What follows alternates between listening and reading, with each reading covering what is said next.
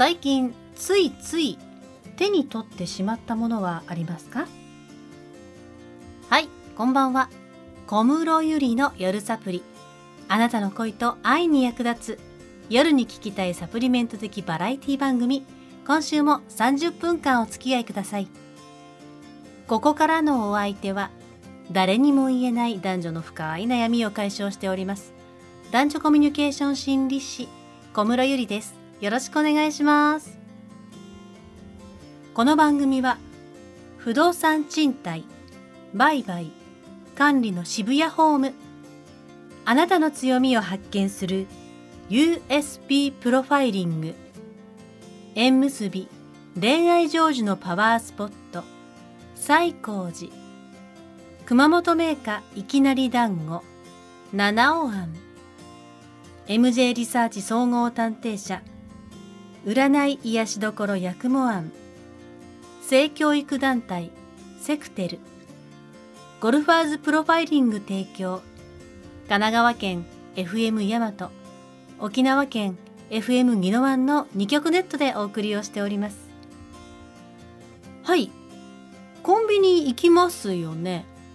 この時期になってくるとまあ温かいお飲み物というものが割とレジ横の目立つところにラインナップされると思うんですけれどもここ数年これが売れるんだという商品があるの知ってます？ついつい手に取ってしまうんですよね。おさゆ。さゆ。つまりあったかい水です。はい。取っちゃったんですよね。ってことないですか？私あのこんななりなんですけれどもお酒がそんなに強くなくってですねよくねワイン飲むんでしょ？日本酒飲むんでしょ？ショットでカンコンと行くんでしょ？そんなことはございません。人を見た目で判断したらダメです。あのそうね。ビールジョッキ2杯いったらもう十分美味しくいただいたかなっていうぐらいのお酒の量でそれでもこう会食の機会とかお酒の機会というのは多いのでそこで大活躍してくれるのが居酒屋で頼むおさゆ。あのお湯割りするじゃないですか。だからお湯割りセットのお湯のポットだけくださいっていうとお湯がドーンと出てきてそろそろお酒も十分かなって思ったらおさゆにチェンジしてそこからおさゆを飲み続けるっていうことに最近ハマっておりましてとうとうコンビニでもはっと思ったらおさゆを手に取ってレジに行っていたというパーソナリティの小室ゆりです。よろしくお願いします。あでもおさゆ本当にいいですよ。作業してる時にねおさゆ飲んでみてください。体めっちゃ温まってまあ、中からそれねこうポカポカとしてくるので作業効率上がります。あと冷えが感じにくくなります。なんだったら体調も良くなります。でとある人が言ってたんですけれどもこれでダイエットで痩せた？むしろこれか？むしろこれ目当てダイエット目当てで飲んでるところも正直にあるかなと。一緒におさゆダイエットしませんか？はいということで今週のコーナー紹介参ります。今週お渡しする夜に聞きたいサプリメントは気になるサプリ。今週はですねこんなニュースです。彼氏や夫から愛されていないと不安なのはあなたのせい。女性ですね。あなたのせいではない。というこんな記事入ってきましたので一緒に考えていきたいと思います。そして第4週目です。これまで妊活一言サプリをご担当いただいていた小宝鍼灸師一毛真也先生から変わりまして今月からは性教育団体セクテルの皆さんがご出演くださいます。このセクテルなんと高校生の男子3人が立ち上げた性教育団体なんですね。タブーを超え面白くクリエイティブにこんなスローガンを掲げて活動している3人です。ねお気づきの方もいらっしゃると思いますが、えー、ゲストにも来ていただいたところからのご縁で今回この第4週目をご担当いただくことになりました。今週は3人それぞれの自己紹介をお願いしております。楽しみにしていてください。このコーナーは健在ですよ。占い癒しどころ八雲庵オーナー萩原八雲先生監修によるあなたの恋と愛に役立つ週末の占いサプリ。今週はそろそろこんな時期ですものね。ハロウィンのコスプレ。テーマにお届けいたします。番組では皆さんからのメール募集しております。番組への感想リクエスト教えてゆり先生のお悩み相談そっと送っておいてください。メールアドレスは info アットマークフレンドビレッジ -c.com インフォメーションのインフォ友達のフレンド里のビレッジ -c.com です。メッセージお送りいただいた方の中から毎月1名様に七尾庵のいきなり団子をプレゼントしております。メッセージには必ずご住所お名前お電話番号を明記の上送信してください。たくさんの応援メッセージお待ちしております。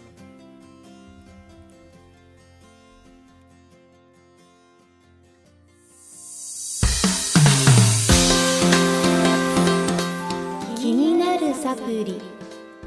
私小室ゆりが気になったニュースや情報をピックアップしてお届けいたします。気になるサプリ今週はヨガジャーナルオンラインからこんなニュース。彼氏や夫から愛されていないと不安なのはあなたのせいではない。10月16日に配信された記事ですね。こちらはフェミニズムやジェンダーについて取材を重ねております原宿夏樹さんという方の記事です。恋愛を営む方の多くの方が悩まれることの一つに自己肯定感が低いだとか幼少期に両親から愛されなかったと感じるトラウマが原因だとこのようなことで悩む方たくさんいらっしゃるんですけれどもしかし社会学部の教授のエヴァ・イルースさんはこうおっしゃっているんだそうです。現代の恋愛の不幸は個人の責任ではなく私たちの愛し方を形作ってきた制度的な力が原因であると。この辺がジェンダーと絡みつくところなんですね。エヴァ・イルースさんはこのようにおっしゃっているんです。19世紀の西洋では恋人への愛を高らかに宣言することこそが男らしいと言われていて男性が一貫性を持った愛を貫くことは男の地位を高めこそすれ逆に落とすことはなかった。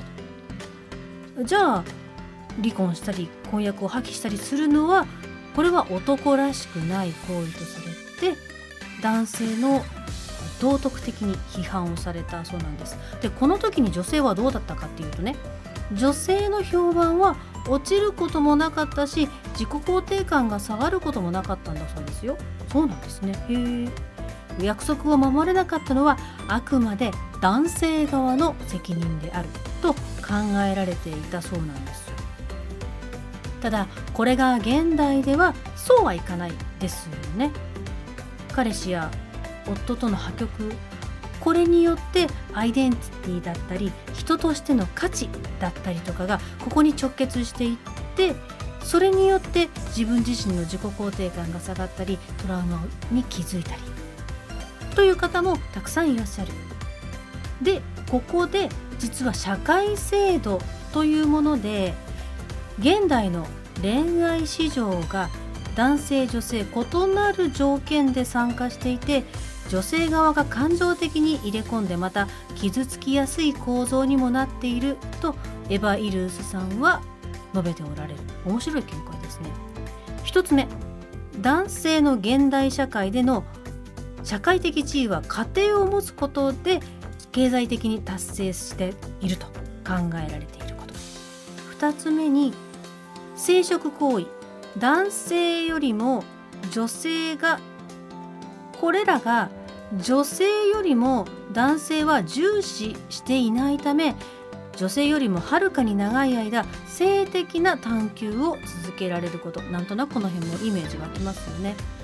性的接触とか性的探求が多いのはやっぱり今のこの現代社会であれば男性側と。そのために男性は女性よりも特定の相手とコミットメントすることを避けているんだそうです。へえイメージ湧く3つ目。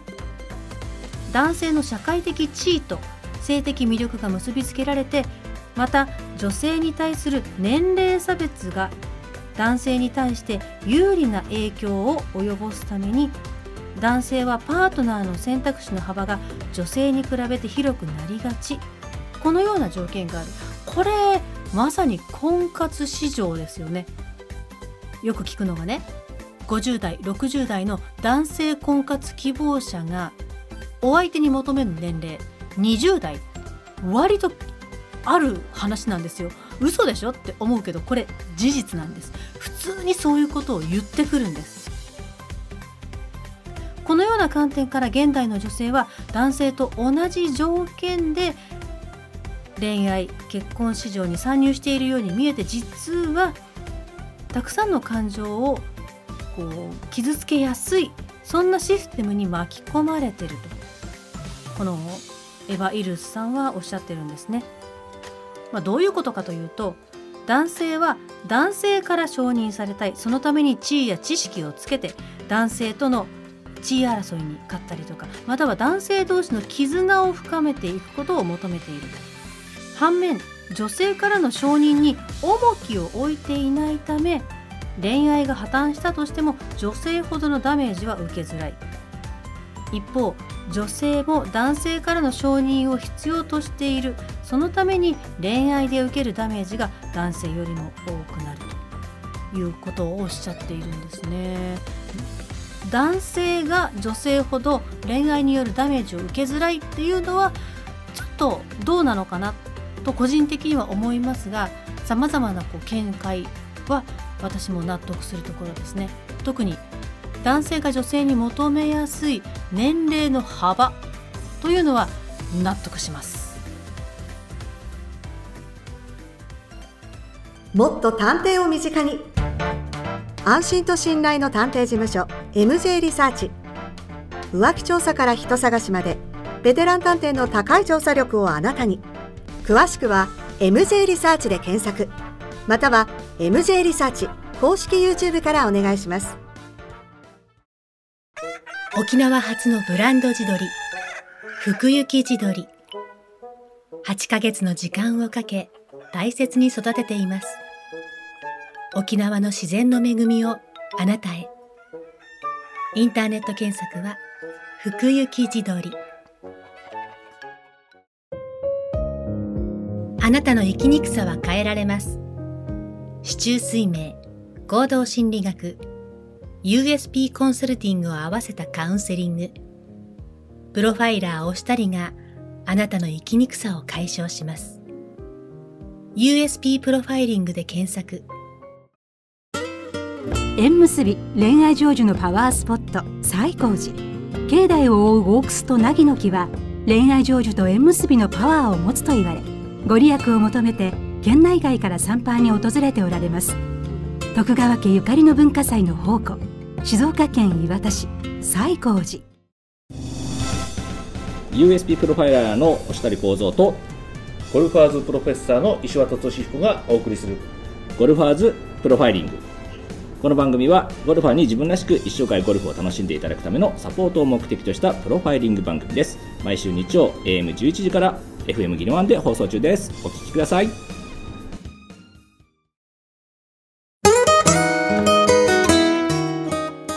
毎月4週目はセクテルサプリご担当いただくのは日本の性教育の課題に向き合う高校生3人が立ち上げた性教育団体セクテルです今週はそれぞれの自己紹介をお聞かせくださるそうですよそれではセクテルの皆さんよろしくお願いしますタブーをクリエイティブに乗り越える。どうも皆さん、セクテルです。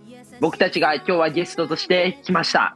では早速僕たちは一体誰なのかっていうことで、まずマークから自己紹介をお願いしたいと思います。よろしくお願いします。はい、よろしくお願いします。えっと、僕の名前は、公文国際学園高等部3年の瀬戸マークって言います。それで、自分はお父さんがアメリカ人で、お母さんが日本人で、アメリカと日本のハーフとなります。よろしくお願いします。はい、お願いします。はい、同じく公文国際学園高等部3年の福田大二郎と言います。自分は日本、あの、アメリカとタイの帰国子女になります。よろしくお願いします。お願いします。で、最後に僕が、えー、クモン国際学園高等部3年の本久青と申します。僕はアメリカに3年半住んでいたアメリカの帰国子女となります。よろしくお願いします。お願いします。じゃあ、えっと、僕たちの団体はそもそも何をしているかっていうことから話していきたいと思います。僕たちは男子高校生3人で北海道から石垣島まで全国を回って学生や大人向けに性教育についての発信活動を行っています。今の時代だからこそ性教育を見直す必要があるのではないかと思っていて僕たちはまあ性に対する知識だったり、まあ、意識を高めていくそういうそういった、えっと、活動を行っているのが僕たちです。そして、はいその一環として、痴漢問題にも取り組んでいます。男女問わず日本中の人に痴漢についてもっと意識を持ってもらうために、僕たちはシカキーというキーホルダーを作りました。これは痴漢について考えるきっかけになるアイテムです。デザイナーのピーチクパーさんに協力してもらってデザインしました。はい。この地下キーを全国の高校生に無償で配布するためにクラウドファンディングを始めたんですが、目標金額なんと100万円のところ、なんとなんと142万円もの支援が集まることができました。しかし、しかも200人を超える支援者の皆様からご協力をいただきました。本当にありがとうございました。そして今後はこのキーホルダーをもっと広めるために商品展開を考えていたり新しい方法で何か痴漢防止に取り組んでいきたいなって思っています。このより多くの人にこの問題を知ってもらって社会全体でなんか痴漢防止のムーブメントを起こしていきたいなと思っているので今後とも応援をぜひともよろしくお願いいたします。そんな感じで僕たちセクテルからでした。ありがとうございました。ありがとうございました。今週は改めましてということで3人の自己紹介していただきました。来月からどんなお話を持ってきてくださるのか私もすごく楽しみにしております。タブーを超え面白くクリエイティブにをキャッチコピーに従来のタブーを打破しながらも楽しさと創造性を重視した活動を展開するセクテルへのお問い合わせはインターネット検索セクテルでお願いいたします。インスタグラムでも発信をしております。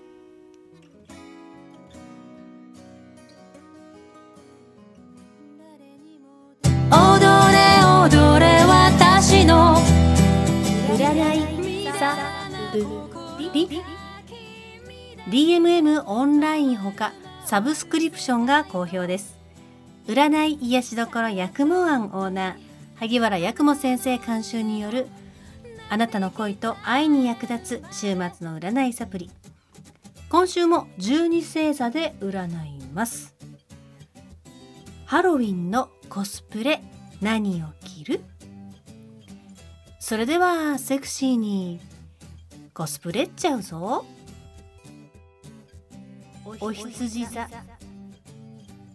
今年の私は魔女のコスプレをしようかしら。私のことを襲っちゃうの？その前には同意を取ってね。お牛座。なんやかんや言ってアニメの推しは推しの子。だって私はあなたにとって完璧なアイドルだもの。双子座。週末はヒップホップ踊ってみない？あなたと一緒に激しい汗かきたいな？ガニーサ推しの子もいいけれどアニメの殿堂といえば「鬼滅の刃」今年は思い切って炭治郎のコスプレでもしちゃおうかしら。獅子座。お仕事お疲れ様。あなたのお疲れを癒したくてエステの施術着を着てみちゃおうかしら。優しくマッサージしてあげる。乙女座。時代遅れなんて言わないで。ミニスカポリスのコスプレは永遠なんだからね。悪いことしたら逮捕しちゃうぞ。天秤座。知らない間に意地っ張りになってない？メイド服を着た私があなたにいろいろ聞いてあげるわね。サソリ座。レースクイーンのコスプレといえばハイレグよりもマイクロミニの方が好きだわ。今夜はサーキットに行ってみない？いて座白衣のコスプレも定番よね。いろんなところに聴診器当ててみようかしら。ヤギ座几帳面なあなただけれど本当は優しくされたいのよね。素肌に包帯をぐるぐる巻きにしてミイラさんの出来上がり。水亀座。週末はなんだか憂鬱な気分になりがちね。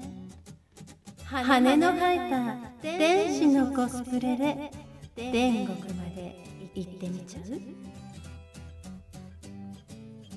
魚座最近いろいろ無理してない？女王様が無知で気持ちよく叩いてあげる。占い癒しどころ八雲庵オーナー。萩原八雲先生の鑑定にご興味のある方は占いタロット八雲漢数字の8に空の雲と検索をしてみてください。今週の占い執筆ご担当は萩原八雲先生でした。第3週は高校生でも安心して聞ける占いをお届けさせていただきます。ありがとうございました。あなたの恋と愛に役立つ夜に聞きたいサプリメント的バラエティ番組小室ゆりの夜サプリ。そろそろエンディングのお時間となりました。今週もご視聴ありがとうございました。来週はあ5週目と1週目にかかるんですね。この先生のご登場です。あなたの強み発見サプリ。USP プロファイラー押したり構造先生です。毎月一足突っ込んだお話を持ってきてくださる押したり先生楽しみにしておきましょう。24時間プロのカウンセラーに電話相談ができます。エキサイトお悩み相談室。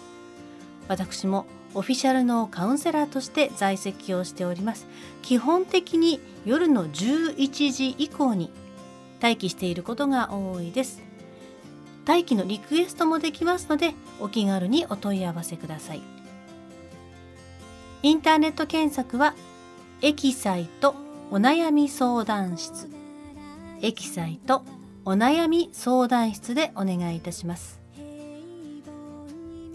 そして12月13日金曜日は小室ゆりと渋谷でお会いいたしましょう。氏神一番プレゼンツ氏神セレクション。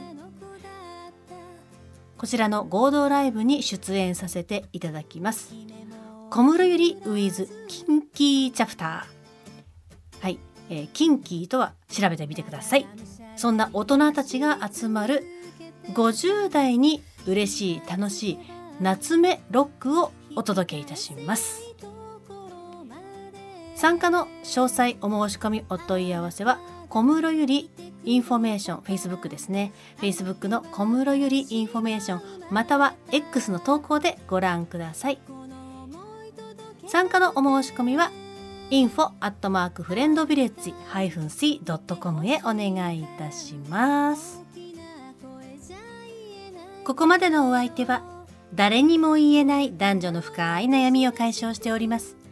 あなたのためのパーソナリティ男女コミュニケーション心理師小室ゆりとあなたの強みを発見する USP プロファイリング縁結び恋愛成就のパワースポット西光寺熊本メーカーいきなり団子七尾庵。MJ リサーチ総合探偵社。占い癒しどころ八雲庵琉球食系。性教育団体。セクテル。ゴルファーズプロファイリングの提供でお届けいたしました。この後はうまくでやなわらばーな演芸集団。FEC オフィス所属のお笑い芸人さんが笑いやしゃべりを極めて FM ギノワンの人気番組を目指します。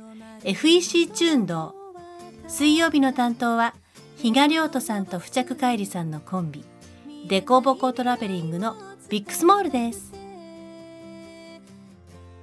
最後にあなたにお渡しする夜に聞きたいサプリメント。恋の名言はこちらです。愛は何の障害も認識しない。愛は希望にあふれた目的地に到着するためにハードルを飛び越えフェンスを乗り越え壁を突き抜ける。アメリカの詩人マヤ・アンジェローの名言です。愛って形のないものなのかもしれませんね。愛に例えばプレゼントが欲しいとか形を求めることは実は恥ずかしいことなのかもしれません。来週もあなたが元気になれる夜サプリ用意して待っています。忘れずに取りに来てくださいね。